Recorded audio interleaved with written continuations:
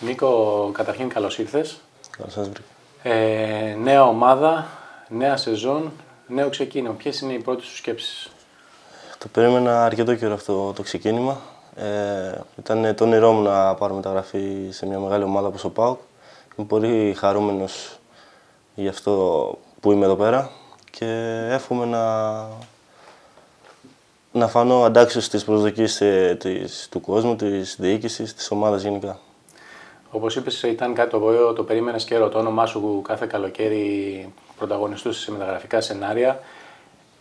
Θεωρείς αυτό σου προσδίδει μεγαλύτερο άγχος το γεγονός ότι μετά από αρκετό καιρό που ακουγόταν το όνομά σου τελικά έκανες το επόμενο βήμα που περίμενες; Άγχος το έχεις, δεν θα το έλεγα. Απλά αυτή τη στιγμή κάνω μια νέα αρχή. Πρέπει να αποδείξω πράγματα. Στην προηγούμενη ομάδα μου είχα αποδείξει ποιος είμαι. Τώρα πρέπει να ξεκινήσω πάλι με την αρχή, να αποδείξω ε, σε όλους εδώ πέρα ποιος είμαι και όπως είπα και πριν, να φανώ χρήσιμο σε όλους.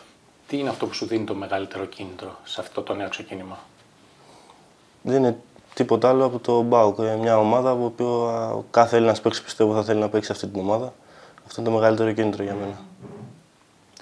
Πρώτο παιχνίδι είναι πολύ σύντομα, ευρωπαϊκό. Επαρκεί ο χρόνος για να είναι μια καινούργια ομάδα με ένα καινούριο τεχνικό team έτοιμη για να πάρει την πρόκριση που είναι απαραίτητο; Ναι, πιστεύω θα, θα, είμαστε, θα είναι έτοιμη η ομάδα, αν και το χρονικό διάστημα δεν είναι τόσο μεγάλο.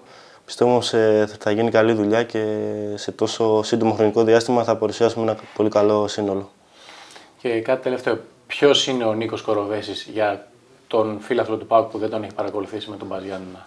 Πώς το περιέγραψε τον εαυτό σου, ποδοσφαιρικά. Ε, είμαι ένας άνθρωπος ο οποίος θα δώσω τα πάντα ε, για να πετύχω το, το στόχο μου και αυτό θα κάνω και εδώ πέρα. Θα καταθέσω την ψυχή μου στο γήπεδο.